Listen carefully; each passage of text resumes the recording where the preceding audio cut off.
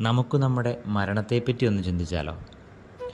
നിങ്ങൾ മെല്ലെ കണ്ണെന്നടയ്ക്കുക തിരികെ വീട്ടിലേക്ക് പോകുമ്പോൾ അതാ നിങ്ങൾക്കൊരു അപകടമുണ്ടാവുകയാണ്. ആരൊക്കെയോ നിങ്ങളെ എടുത്ത് ഹോസ്പിറ്റലിലേക്ക് ഓടുന്നു.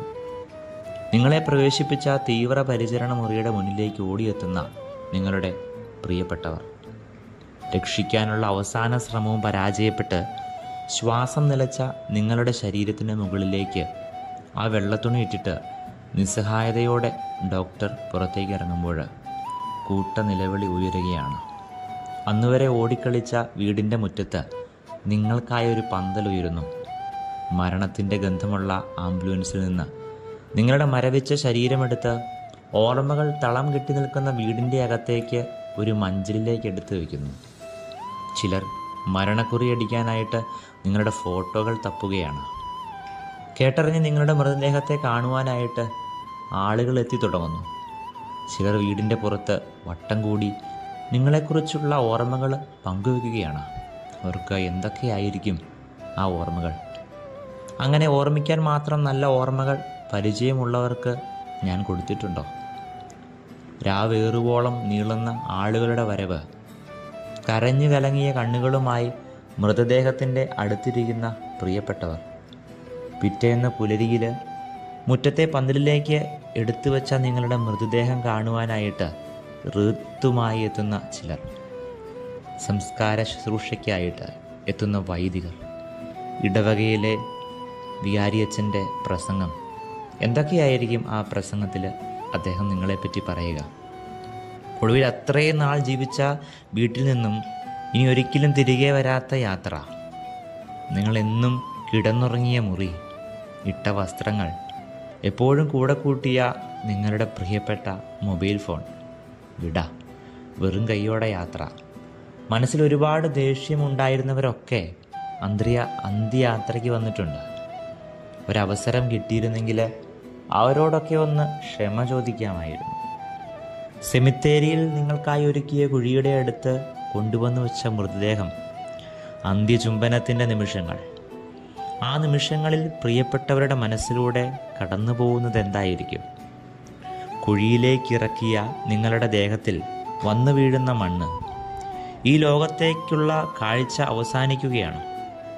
നിങ്ങൾക്ക് എന്തൊക്കെയോ പറയണമെന്നുണ്ട്. സാധിക്കുന്നില്ല.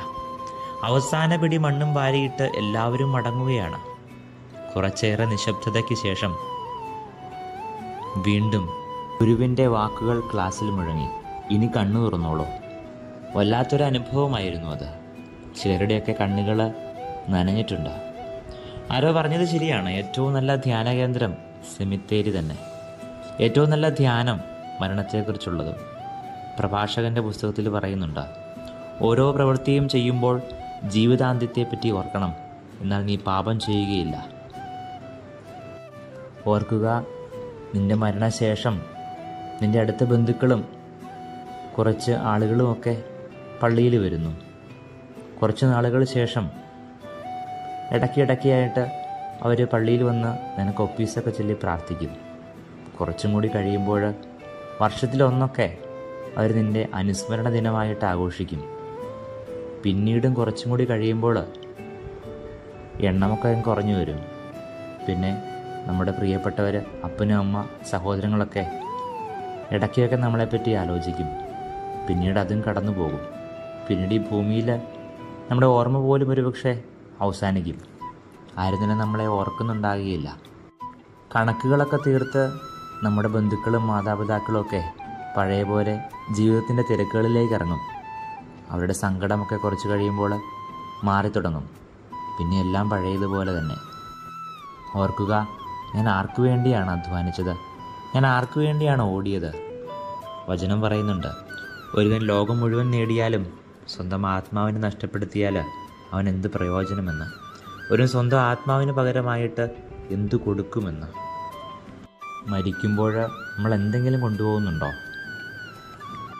ഇനി നമ്മൾ എന്നാണ് മരിക്കുന്നതെന്ന് ആർക്കെങ്കിലുമൊക്കെ പറയാനായിട്ട് സാധിക്കുമോ? പക്ഷേ ഒരു സത്യം നമുക്കറിയാം. നമുക്കെല്ലാവർക്കും ഉറപ്പിച്ച് പറയാൻ പറ്റുന്ന ഒരു സത്യമുണ്ട്. ഞാനും മരിക്കും നീയും മരിക്കും.